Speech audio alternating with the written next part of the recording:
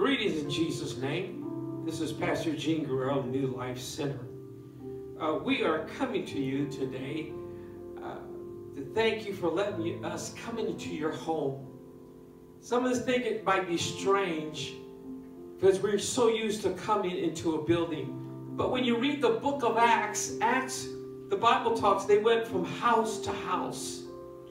And so we're actually at this point right now, we're at homes like it, it actually started in the book of Acts. So something could happen in the midst of these services while we're giving the songs and the preaching. That somebody get filled with the Holy Ghost. Somebody want to get baptized. So that's why we are very excited to be with you all.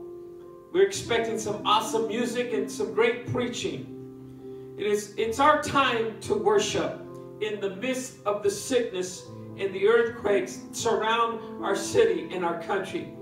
Let's worship together as we gather together in our rooms. Let us not just sit back and just fold our hands, but while whoever's preaching, that we would say, Amen. Thank you, Jesus.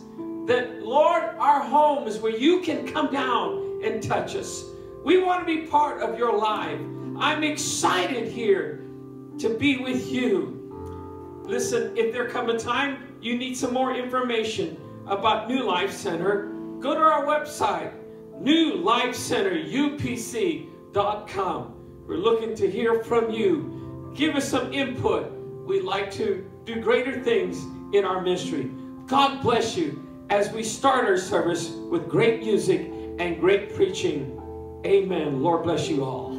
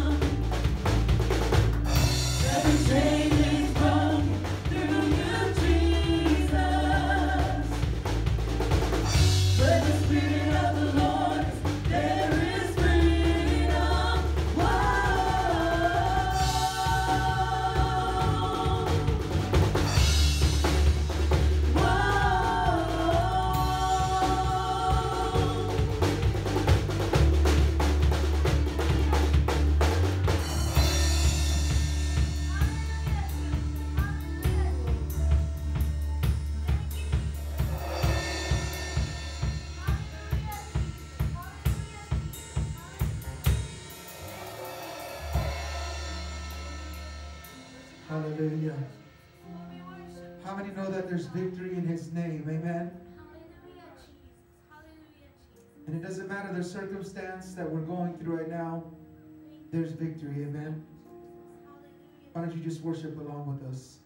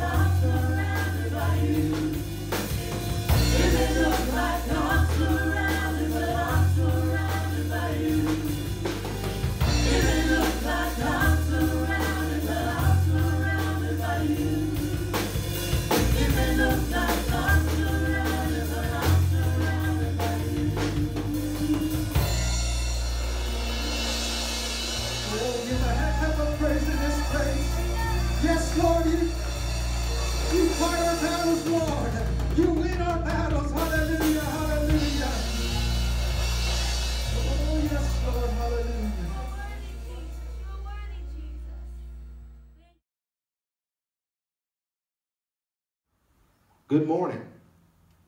Nice and loud. Thank you for tuning in to the New Life Center um, live stream.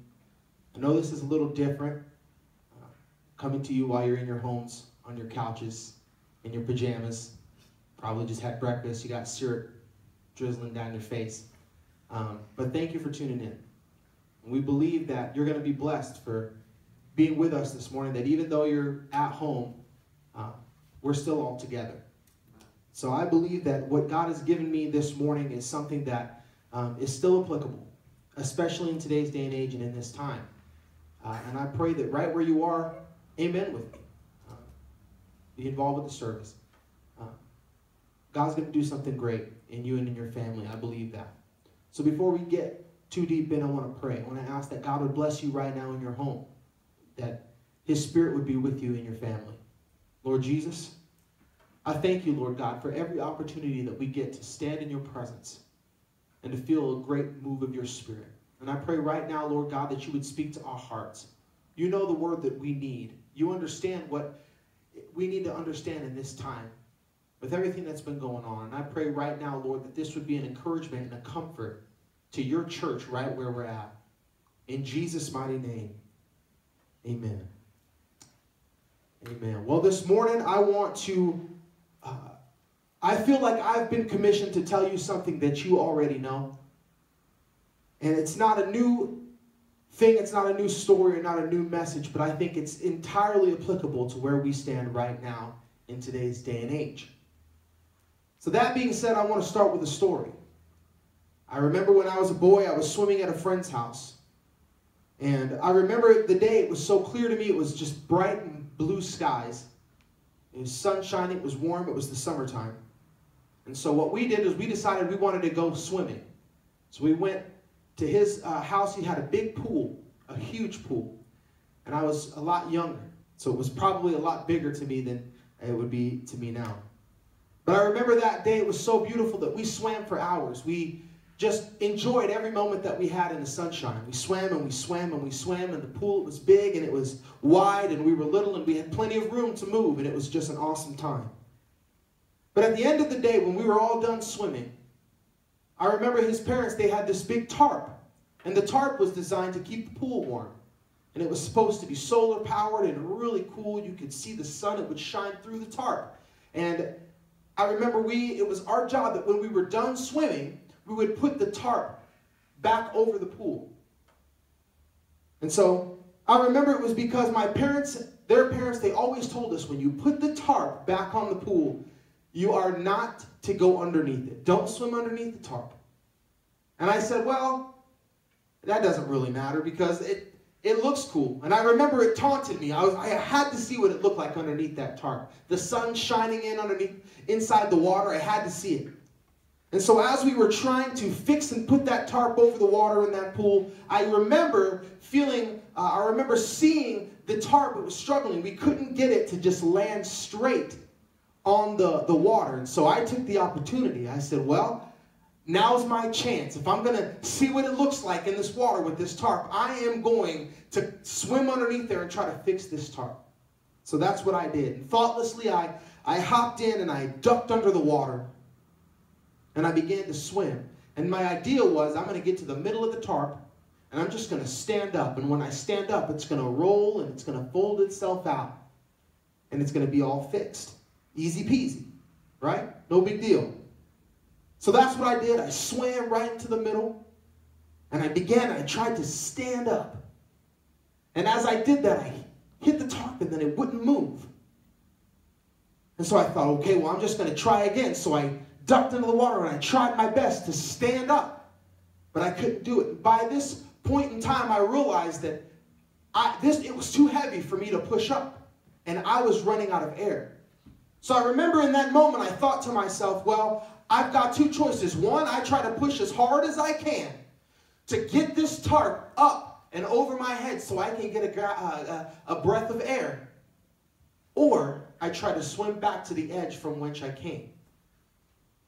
That moment, I thought, well, it's now or never. And so I ducked back under the water and I began to swim back to the edge. And you might be thinking in your mind, well, did he make it? Well, no, I didn't make it. I'm actually dead. I'm just kidding. Of course, yes, I made it. In the nick of time, I jumped up out of the water and took a huge gasp of air. Now, I remember in this moment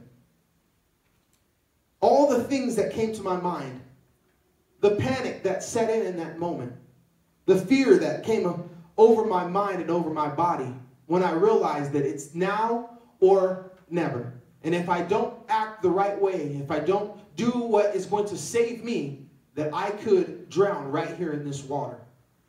I remember the feeling of the grip of the lack of oxygen as I began to journey back and frantically toward the edge of that pool.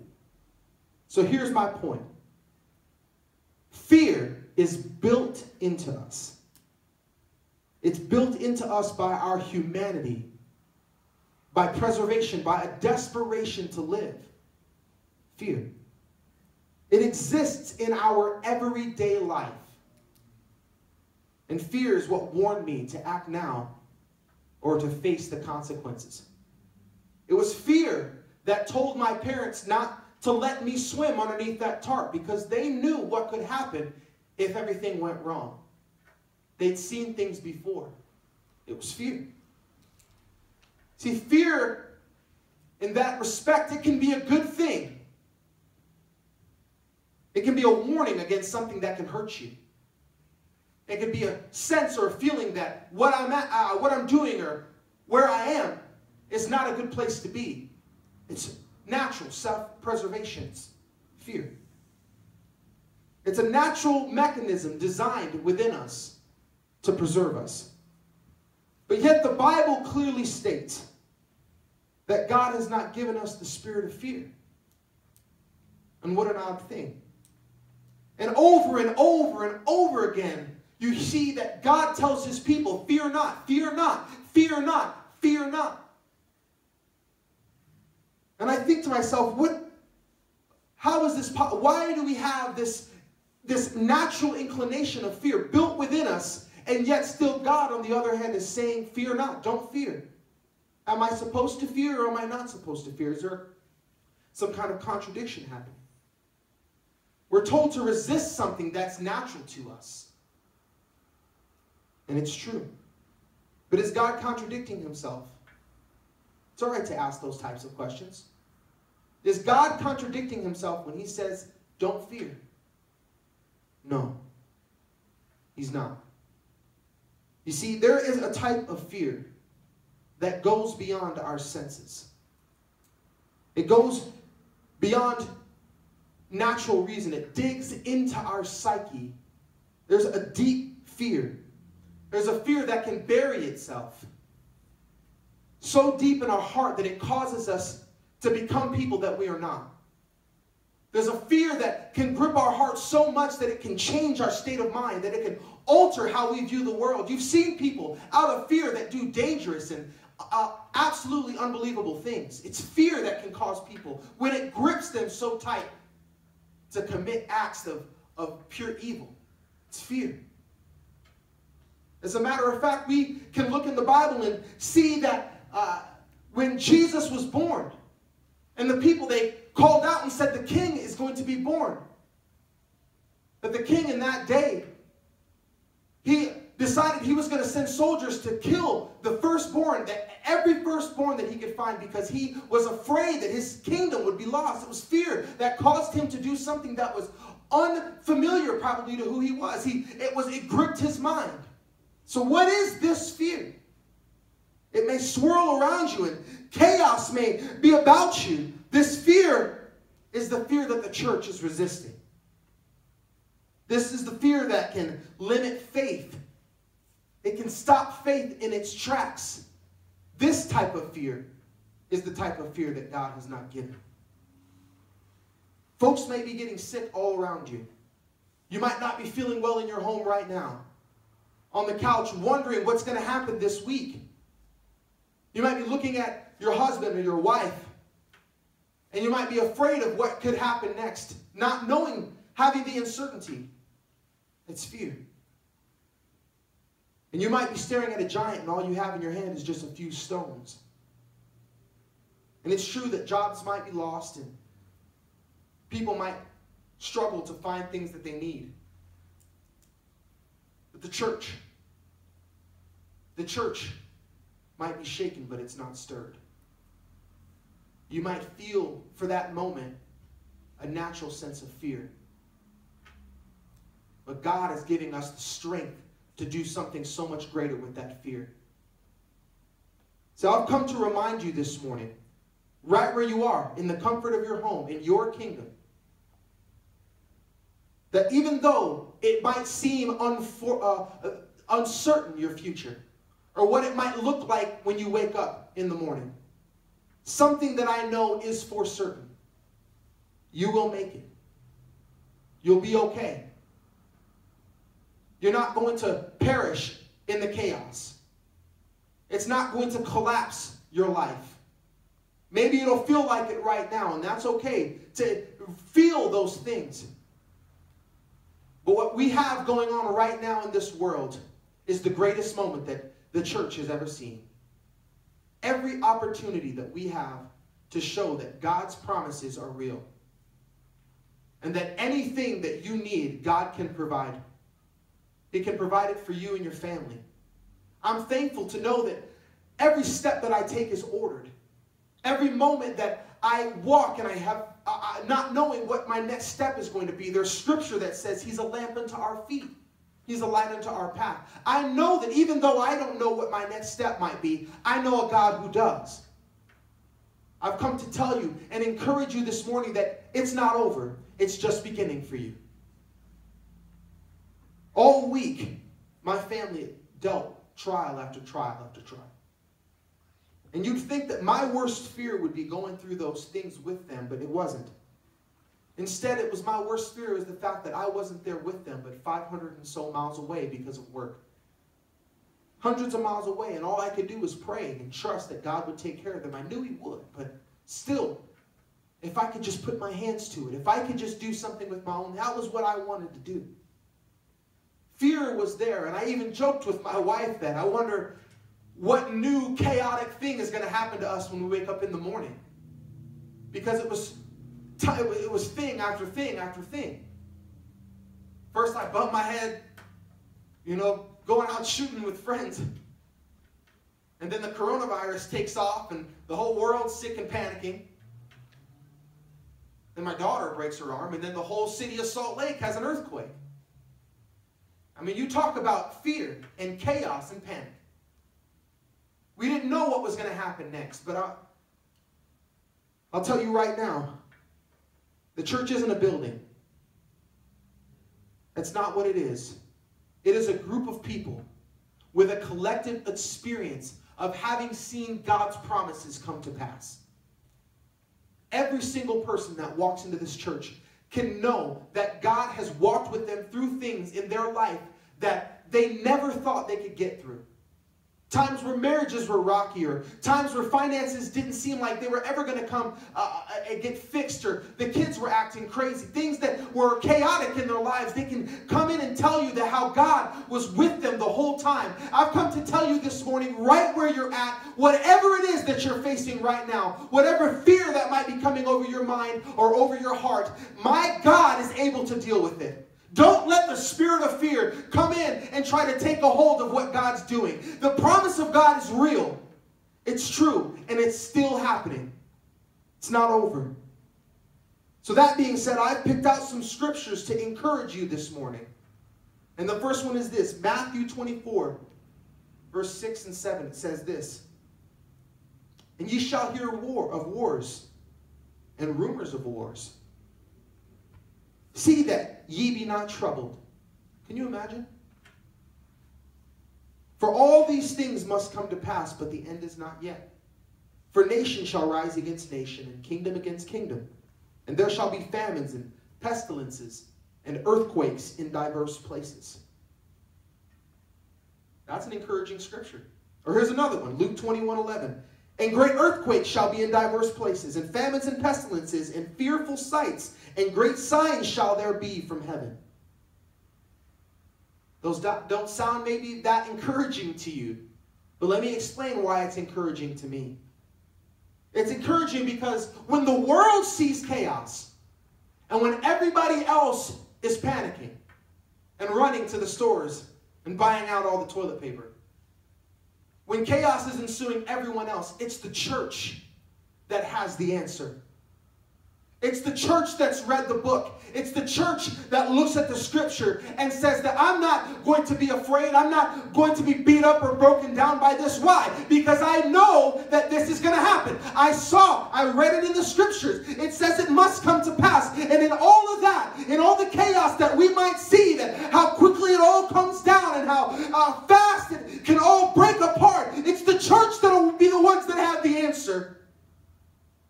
We don't have to be afraid when things start to fall apart. No, we, we have a God that will take us through everything. All the things that we think are going to destroy us, that are going to take our lives away, we realize that we have a God that's watching out for us. When the world doesn't have the answer, when they can't figure out why it's all coming down or what to do next, the church is still praying. The church is still on their knees. The church still believes that God will take care of them. And that's what we are. You're the answer. You're the solution. The truth that we have that we rely on. The one when we call out to God, when we say, Lord, you are my refuge and my strength, my present help in times of trouble. When those words are uttered out of your mouth, something begins to change in the atmosphere of the world that they might not yet understand. But all our job is, is to turn the light on for them and allow them to see the glory of God as it comes down in our churches and in our homes. As we watch and we see how God carries us through time and time again in those moments where it seems like there's no answer. We read scriptures like Jeremiah 29 11. It's my favorite scripture. For I know the thoughts, the scripture says, I know the thoughts I think toward you, saith the Lord. They're thoughts of peace and not of evil, but to give you an expected end. It's peace. I'm so thankful that I that God will lay that scripture on my heart every time when I think of how, how I don't know what's going to happen. When I'm thinking about the well-being of my family, of my wife and my daughter, of my mother-in-law and the two boys that live in my home, and I wonder how are we going to make it next. I remember this scripture that God has not forgotten about me, that instead he has known exactly where I am. He knows the thoughts I think before I think it, and every step before I take it. How tremendous it is that God knows our heart, and he knows where you are this morning. He knows every moment that you have, every moment of doubt and fear. He knows every time that you wonder what's going to happen, every time your heart is troubled. And what does he say? Fear not. Why? Why go against this thing that might feel natural to you? Why? When, I, when fear is the thing that's keeping me alive. Because that's putting a, a level of trust in yourself that doesn't belong there. That level of fear. When we get to the point where fear takes over our faith, we lose and the devil wins. But I've come to tell you this morning if you'll take whatever fear you might be feeling right now, in the uncertainty of this time and age, and turn that fear into faith, you'll watch as God will take your family and you to places you never thought you could ever go. This is the moment the church has been waiting for. It needs you. And God knows exactly where you are. So this morning, even right there in your homes, this might be the end of me talking right now, but I pray that you would allow this message to sit and settle inside of your home. Let it take its place and take its course. That you would believe and have faith that God will take care of you. And you would walk with boldness, believing that He is the one that keeps His promises. Let me pray over you. Jesus, I pray right now that you would touch your church. You understand, Lord, everything that's going on the sicknesses, the chaos, and the uncertainty. But God, I believe that there is a tremendous opportunity that lies before us.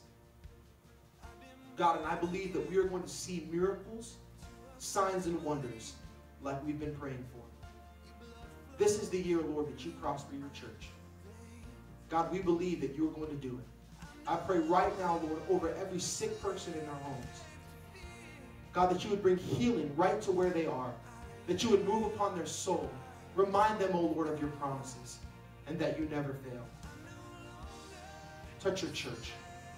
Bring encouragement. Bring peace, like your scripture says. Remember us, Lord Jesus. In Jesus' name, amen. Thank you for being with us this morning. We love you. And we hope to have you right back in the house of God all together as soon as we can. In Jesus' name. Oh, how exciting this message was today. Brother Tim preached an awesome message. I like the part where he said, It's not over. Amen. While the church is still here, I tell you what, there is an answer. You are the answer, amen, for your family, for your friends. Next service we have, invite some people to your home if it be. And, and hey, listen, tell them that there is going to be a great meeting, some great preaching, and some great teaching. Wednesday at 7 p.m., Brother Webb will be teaching. He is continuing, I believe, on the oneness. If you have never heard it, heard it, then you need to come hear it. Bring your Bible, sit in your room. Amen. Enjoy the great teaching. Don't miss it. Amen. Listen, if you need to find out more information about our church, go to the website newlifecenterupc.com. Go to the website there. And you'll find more information about us.